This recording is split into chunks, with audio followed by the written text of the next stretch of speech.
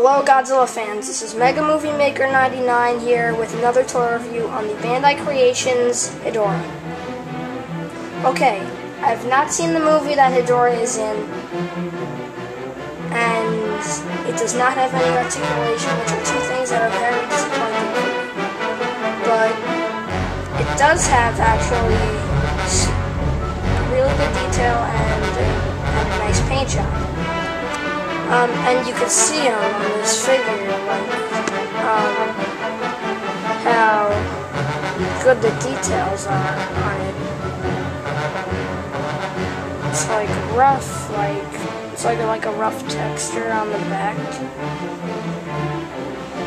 And it's just, it's just a very nice, just very nice details. Um, and the paint job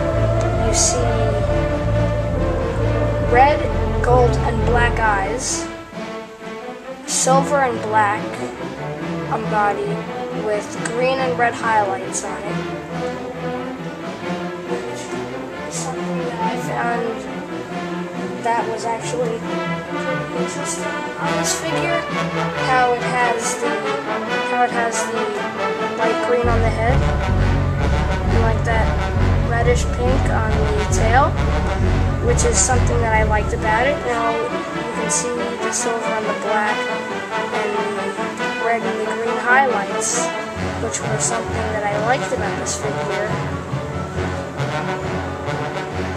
And that was something that Bandai Creations did an okay job on. So if I were to give this figure a rating, it would be a 7 out of 10. Thank you for watching this toy review.